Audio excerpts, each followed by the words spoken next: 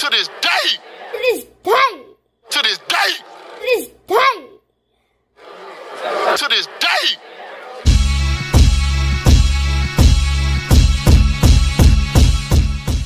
What's up, fight fans? This is Kurt DeVille with Counterpunch Boxing News, and I have some new news concerning Deontay the Bronze Bomber Wilder. Get this Deontay Wilder sends a defiant warning to Tyson the Gypsy King Fury. and this is what he said. He said, quote, he said, I want to make Tyson Fury pay so bad, so bad.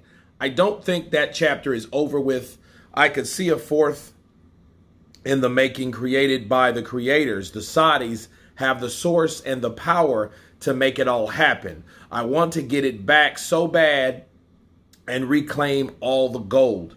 I'm looking forward to working with the Saudis for a long time, even when I regain the titles. I truly believe that I will be the undisputed champion and hold all the belts. Hmm.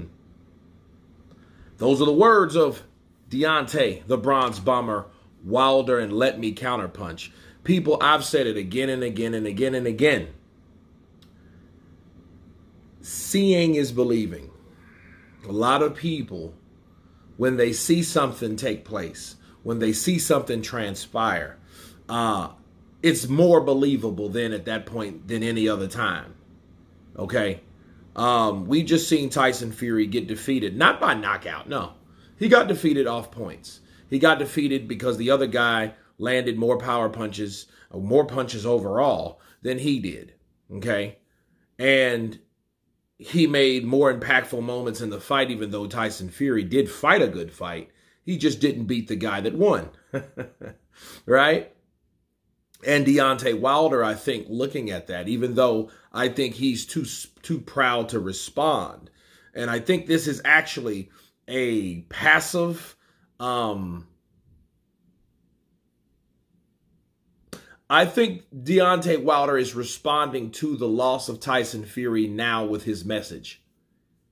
You know, that's his way of respond, his nonchalant way of responding to Usyk beating Deontay Wilder because he's looking at it like, look, I still think I'm going to get all the belts. I still think I, am going to be around a long time. I have a good relationship with the Saudis, and I will become champion again.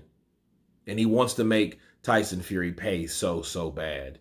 And what do I say to that? I think with Deontay Wilder, I think Wilder, uh, nothing wrong with having that goal because you never know what's going to happen in the sport. That's the reason why this is the sport that I love that I hate so much because you think it's going to go this way and it ends up going that way. You know, when you're dealing with boxing, you don't know, especially heavyweight boxing. Heavyweight boxing, anywhere from 168 up, you don't know what could happen. But heavyweight boxing, it mo mostly takes one punch based on the size and the power that these big guys possess. Okay, the, the bigger a guy is, more than likely, the harder they punch. In most cases, Okay.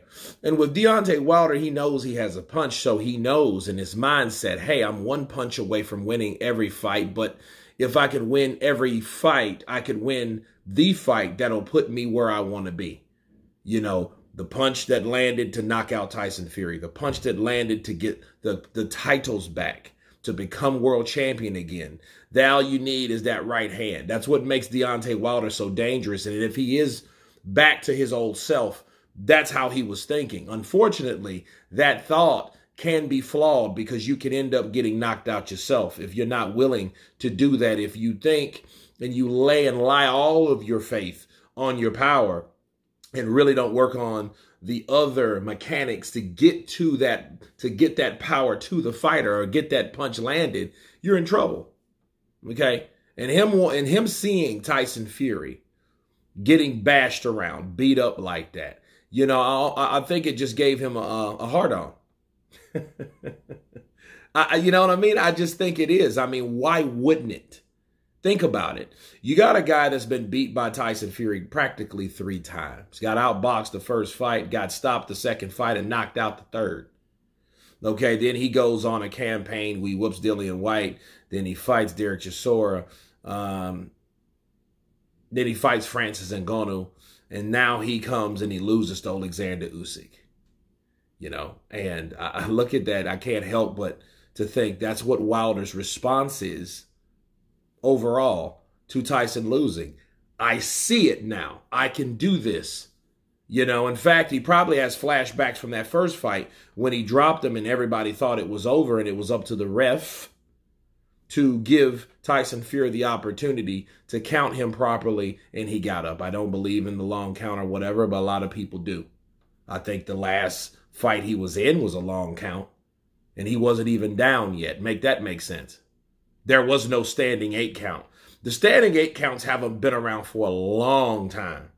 Okay? Now, had it been, that would have been different. But this guy counted to 10 when he didn't even hit the floor. So it just sounds a lot, you know, Mark Nelson, he has a lot of explaining to do. I know a lot of people are going to be tapping and DMing him and stuff for interviews and asking him, why in the hell did you stop the fight like you did? Nonetheless, back to Deontay Wilder. Deontay Wilder has more reason to be motivated than any because he's seen a smaller guy do it a shorter guy, a smaller guy, you know, uh, hurt Fury. So, you know, pr- more than likely, this is what Wilder's thinking. I'm still the reason for that. I broke that shell. I hit. I hit Tyson Fury so hard that his durability um, is not there.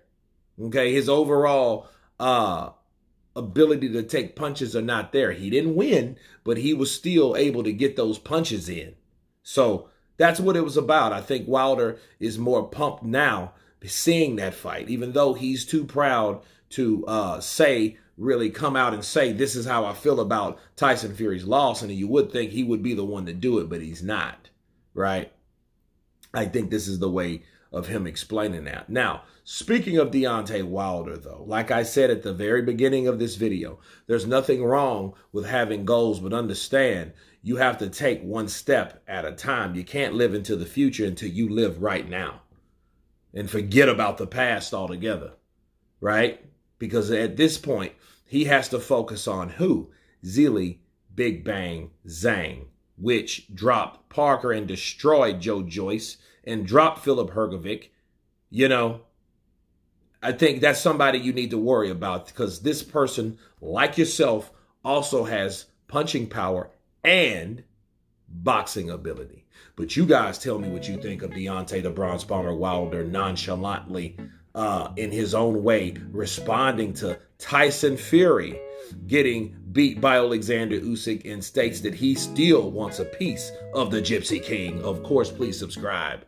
And you guys been Counterpunch. Peace!